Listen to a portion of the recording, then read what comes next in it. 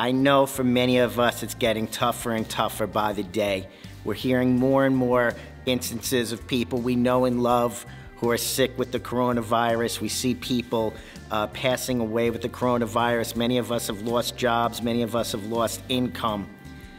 And I want to take you today to one of my life verses. Um, Jesus, in the Sermon on the Mount, he got to the point of, he said, Do not worry about your life. And he was talking about, don't worry about food, don't worry about clothing, don't worry about shelter. And Jesus wasn't talking to rich people, he was talking to, to peasants where everyday living was hard, everyday existence was hard.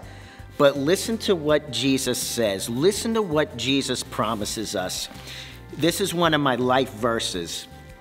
In the Gospel of Matthew, chapter 6, verse 33, Jesus says this He says, But seek first the kingdom of God and his righteousness, and all these things, meaning food, shelter, clothing, will be added to you. See, Jesus promises this that when we seek him first, when we make him our first love, when we make him our first priority, and when we care about who Jesus cares about, and we care about what Jesus cares about, He promises to take care of our needs.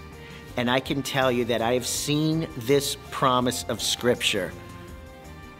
Jesus come through on this promise time and time and time and time again. So I just want to encourage you don't worry. Seek Jesus first, His kingdom first, His righteousness first, and your needs will be taken care of. God bless you. We're praying for you. We love you. Hope to see you soon.